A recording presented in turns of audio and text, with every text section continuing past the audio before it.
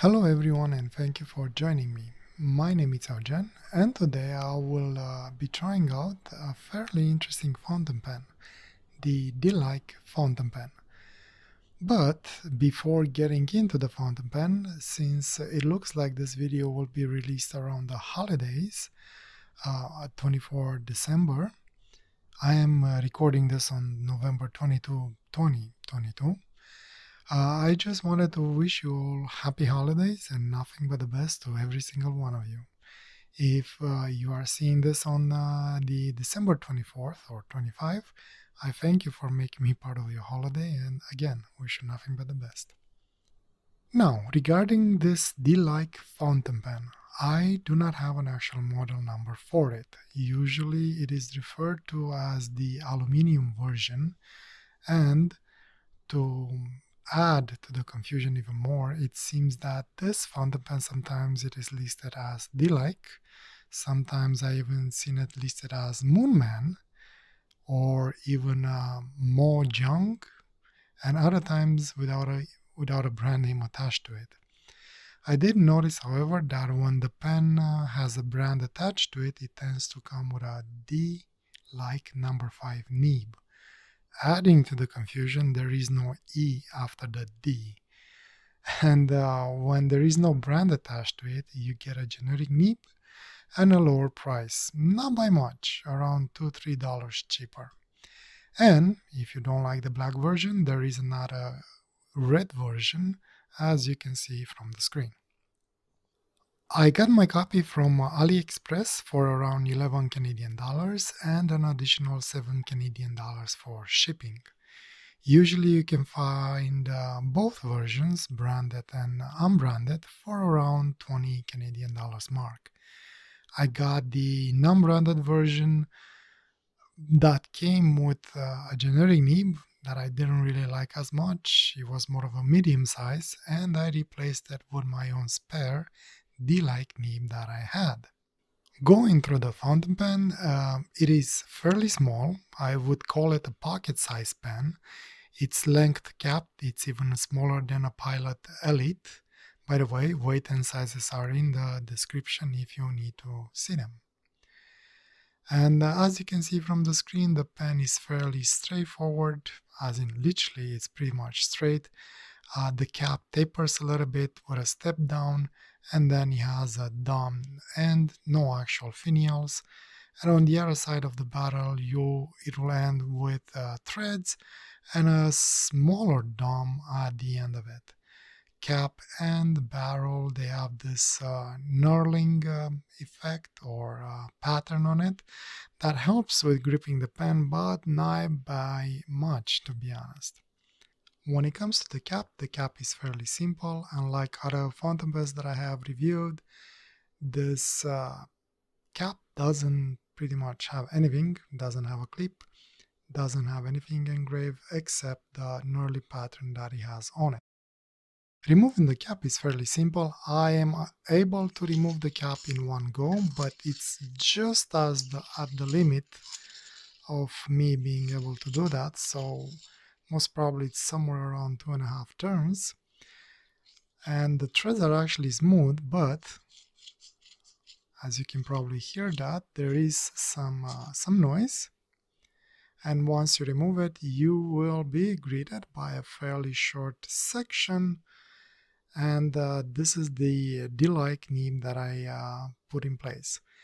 The one that it came with, it was just a um, single color, basically stainless steel uh, nib, and uh, I thought that this nib will uh, look much better on this pen. Basically a complete blackout DeLike fountain pen.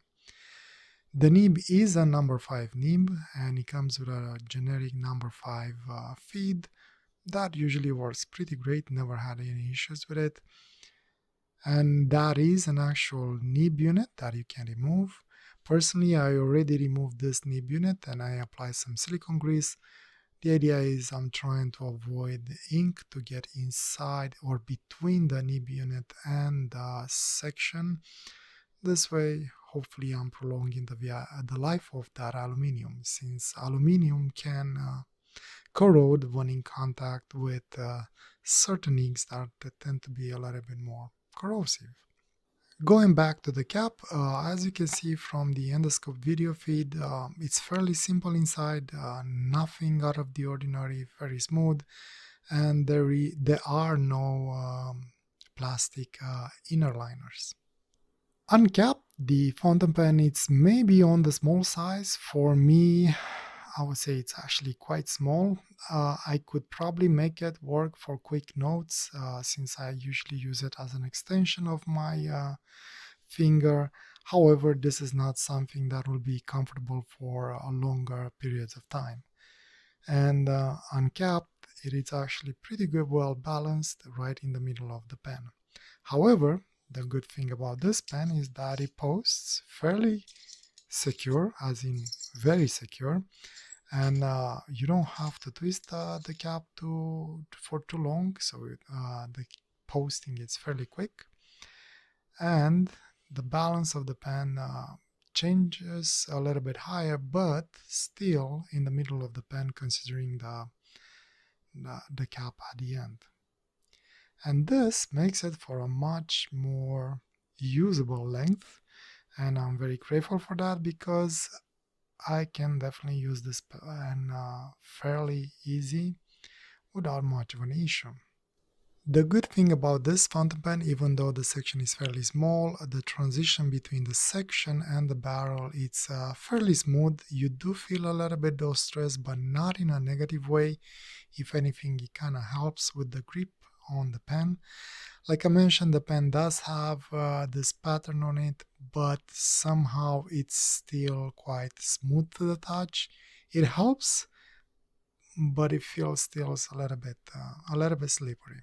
Removing the barrel, it's uh, very fairly easy. The threads are very smooth. It takes a little bit uh, to to remove it, but there's no issues with it. The threads are very smooth and once you remove it you'll be well greeted by a very tiny uh, converter which I actually like and I'm happy it is included. And the converter comes with uh, an agitator inside there. However I noticed that this converter I mean uh, the ball inside takes a little bit of a space. So what I like to do with this type of converters is actually remove that little ball and this way the piston can go all the way down and you gain a drop or two. By the way, be careful on how you operate this converter. If you pull too hard, you'll actually remove it from there. So just be gentle. And the barrel inside, as you can see from the endoscope video, is just as smooth as the cap. Uh, no features inside of it, which is kind of good. And also this tells me that most probably this was built from one or machined from one piece of uh, aluminium. If I'm wrong, please correct me in the comments below. And this is the fountain pen in a nutshell. Uh, nothing much else to add. Um, fairly simple, slick, clean design, no nonsense fountain pen I would call it. So let me go through filling it up and do a writing test and then we'll jump into a sketch. For today's drawing I wanted to go back to this uh, Coal Barges Van Gogh uh, carbon ink that I bought from AliExpress. As usual, cap off, barrel off, piston slide down.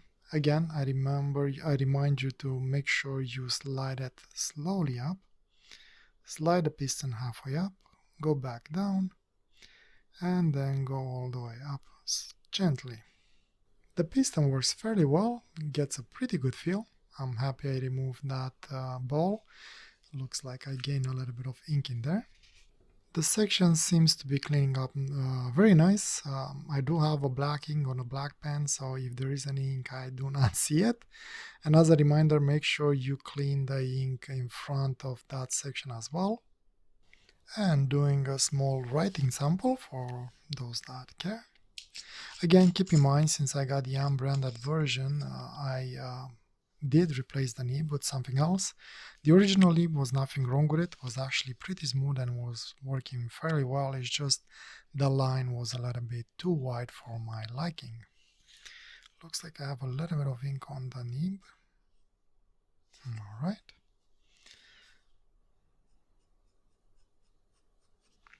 So this is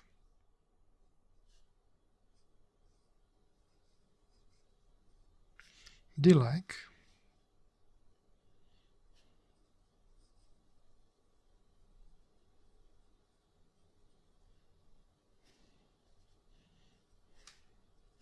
aluminium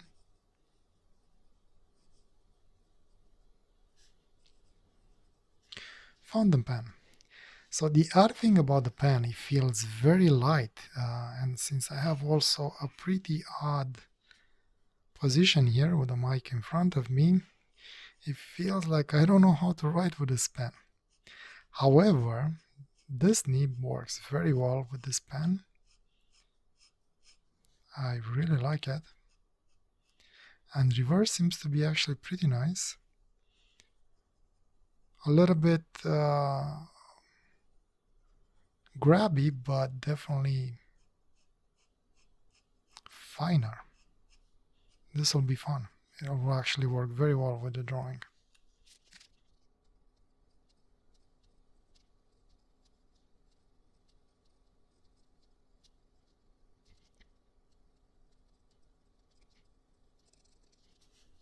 I like the nib, I like the pen, feels very light. I'm not sure how much I'm gonna like it during the drawing, but I guess we'll see about that. And as usual, there's no real line variation in the in this nib, since this is an extra fine and fairly rigid.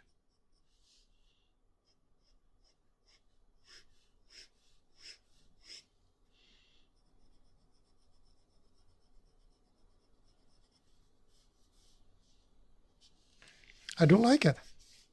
This should be interesting. So um, let me jump into the uh, drawing and uh, I'll let you know what I think of this fountain pen.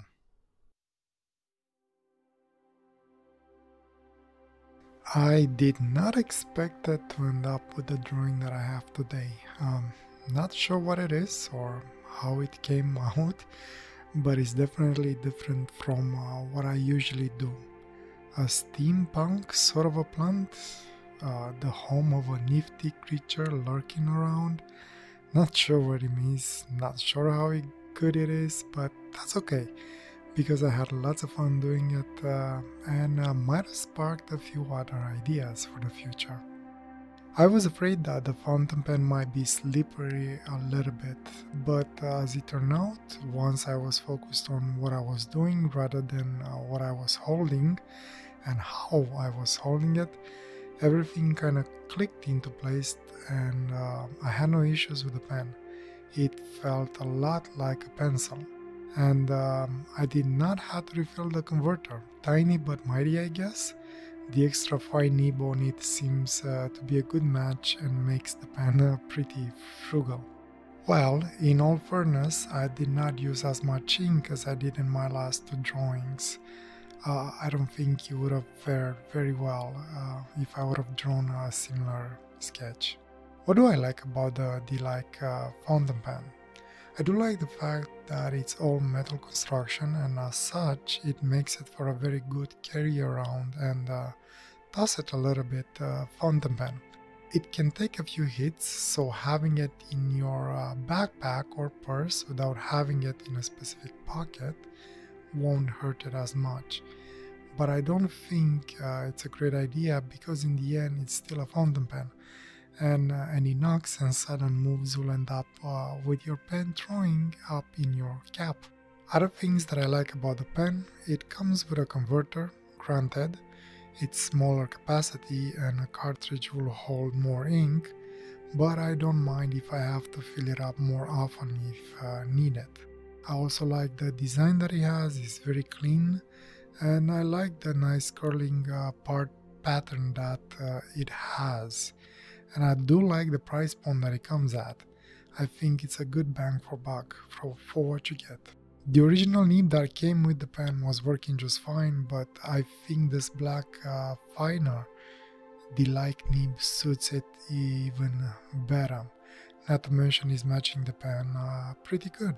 What I don't like uh, as much about this DeLike fountain pen, there are a few things that I don't like as much on this pen, and the first thing that pops in my head is the fact that there is no plastic inner liner on the cap. Aluminium can be affected by some inks, so if by any chance you get spills or splatters in your cap and not clean them as soon as possible, there is a chance that eventually your cap will be corroded by the ink. Not something to be scared of, but definitely something to be aware of, especially if you tend to use inks uh, that are more corrosive in uh, nature. Another thing that I find a little odd, the black on the cap doesn't match the black on the body and section. It's like they were built in two different factories. The cap is a little bit shinier compared with the rest of the pen. Really odd, but not really a deal breaker.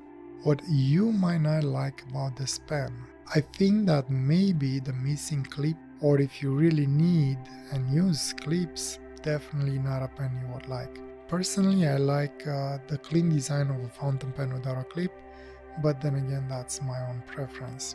And other things that I could think of um, is that maybe for some people it might be a tad light, a little small, especially if you don't like uh, posting the pens, and it takes a little bit to uncap, so not best suited for quick notes. In the end, personally I like the pen. It's fun, small, cute, and while not best suited for quick notes, it's definitely a pen you can carry around without much of an issue. I can definitely stand behind this little thing. And this is where my rambling uh, are coming to an end. If I have missed anything or you have any other questions, please leave a comment below and I will try and get to it as soon as I can. With that said, I thank you for joining me today and I hope I will catch you next time. Wish you all the best and a wonderful day or night wherever you are. Happy holidays to all of you and may all your wishes come true. Take care. Bye.